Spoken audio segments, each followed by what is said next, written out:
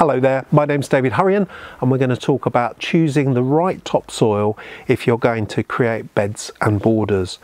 Now if you've got some pre-existing soil in your garden then it shouldn't really be too much of an issue. There's nothing wrong in using the soil that you already have in your garden to create good quality soil for growing plants in.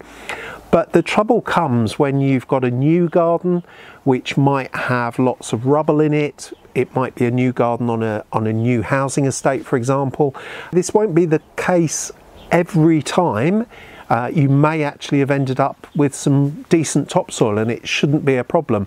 But if you have got really rubbly conditions, uh, then it might be worth digging it all out and starting again with something that is reliable and good quality. So if I was going to be planting up beds and borders with ornamentals, things like trees, shrubs and perennials, or if I was going to be planting up some permanent containers like planting this box bush into this large pot permanently, then I would choose the Rolawn Beds and Borders mixture. This is a special formulation which they classify as being a loamy sand. The emphasis there being on the sand, which means that it maintains a good open, free draining and aerated structure to the topsoil so that the plants don't become waterlogged.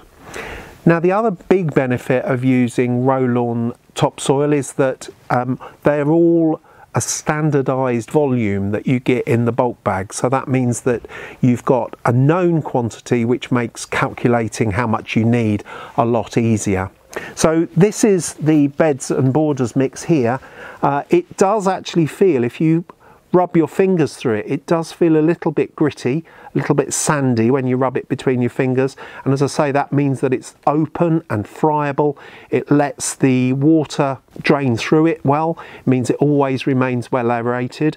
Uh, not only has this got topsoil in it, but it's also got organic material in it, uh, well decomposed organic matter, uh, and it's also got some nutrients in it which will help to keep the plants going uh, for the, certainly the first year or so that you've got it in use. After that, you'd need to look after it in the same way as you would any ordinary topsoil, any ordinary garden soil by adding lots of organic matter to it regularly and also feeding if you need to boost a particular type of growth in a plant. So this is a really good material for planting up your beds and borders and as I say if you've got really rubbish topsoil you might find that replacing it with this will give you much better results.